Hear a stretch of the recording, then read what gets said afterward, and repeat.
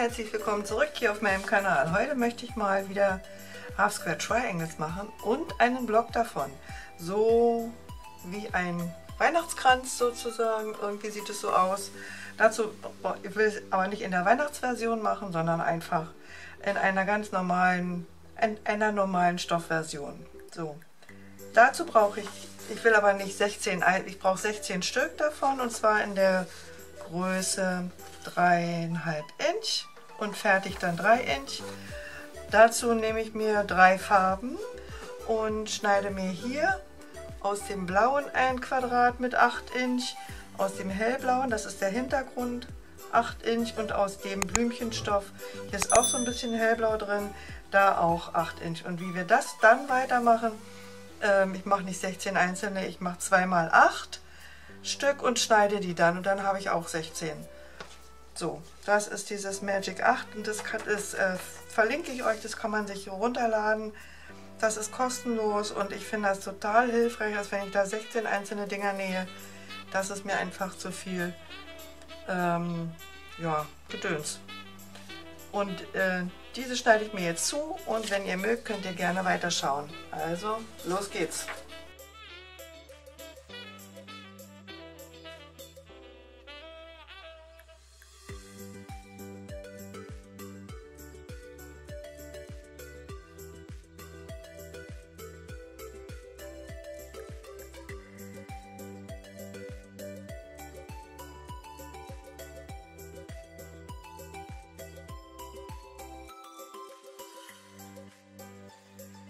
Jetzt zeichne ich mir eine diagonale Linie an.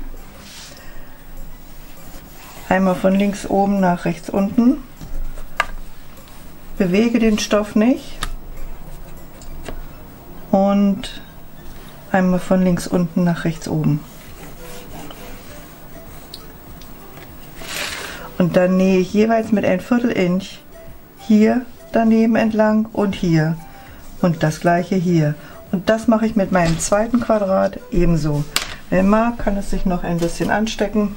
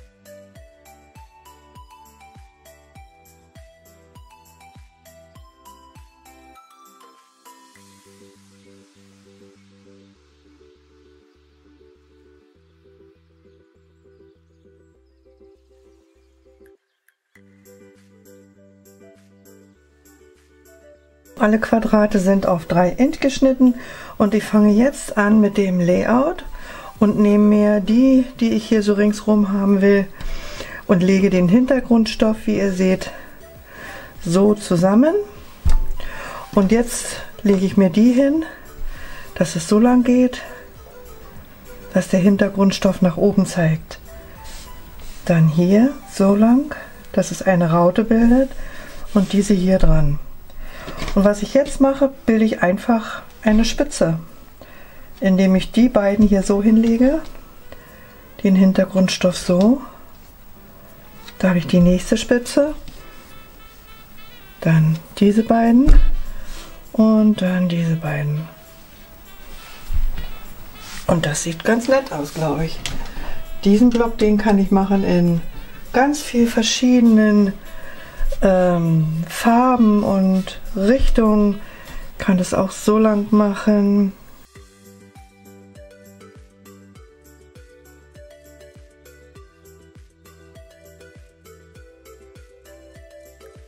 So mache ich das jetzt. Der ist mir schön so.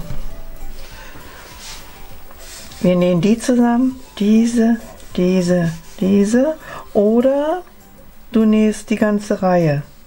Das bleibt dir überlassen. Ich nähe so lang. Noch, also rechts auf rechts, rechts auf rechts. So und so und schneide es nicht auseinander, lass es dran.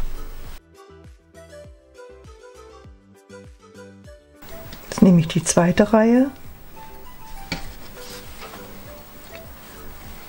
und lass die beiden Nähte hier richtig schön einrasten und nähe hier entlang.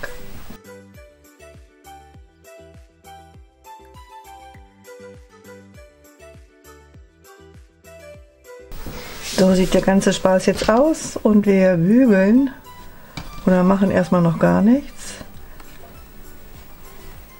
Wie ihr seht, es legt sich schon von ganz alleine so hin, wie es soll. Wir klappen das, die obere Reihe aufeinander.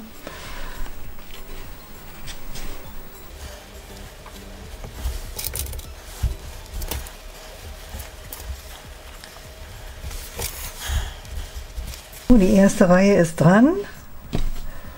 Und jetzt klappen wir diese um. Dabei achten wir, dass wir achten wir darauf, dass wir diese hier nicht andersrum klappen und nähen auch hier wieder mit ein Viertel Inch Naht. So, das ist mein fertiger Block. Der hat eine Größe von 10,5 Inch im Quadrat und es ging super schnell. Hier habe ich so ein bisschen gepatzt, aber okay, das ist halt so. Aber ansonsten kommen die Spitzen alle gut raus. Ja, und ihr seht, man kann hier so viele Varianten machen. Äh, man kann es auch natürlich mit Resten machen. Ich habe ja noch ganz viel übrig von dem Be My Neighbor Quilt. Da sind ganz viele noch übrig. Was ich hiermit machen kann, ich kann zum Beispiel eine kleine Border ringsrum machen nochmal von anderthalb Inch und vielleicht noch drei Inch und dann habe ich schon eine Kissengröße. Oder für ein kleines Kissen, für ein für ein, für ein Baby kann man das auch machen. Also das wird nachher dann, wenn ich das hier in die Mitte nehme und so nehme, wie ich eben gesagt habe, mit 3 Inch. So etwa ist das eine schöne Kissengröße. Wenn ich hier noch eine Border ringsrum mache. Ja. Oder auch als Platzdeckchen wunderbar geeignet. Ihr wisst ja vielleicht, ich bin so ein Magrak-Fan. Ja, so kann man das machen. Und wir sehen uns zum nächsten Blog. Bis dann. Tschüss. Ich habe jetzt hier eine Border ringsrum angenäht. Die ist anderthalb Inch.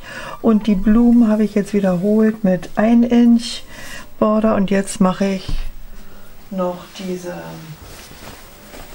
diese helle Border ran. Und zwar so groß, dass es jetzt wirklich eine Kissengröße ist. Ich glaube, das wird dreieinhalb sein ringsrum. Das messe ich mir noch mal aus. Das glaube ich ist dreieinhalb, genau. Und so. Ich habe jetzt hier dreieinhalb Inch noch mal ringsrum gesetzt, eine Border. Und das Kissen, das passt jetzt wunderbar. Da passt ein 50er Kissen rein. Ich finde das richtig schön. Das sieht so harmonisch, irgendwie weich aus. Finde ich jedenfalls. So, bis zum nächsten Mal. Tschüss.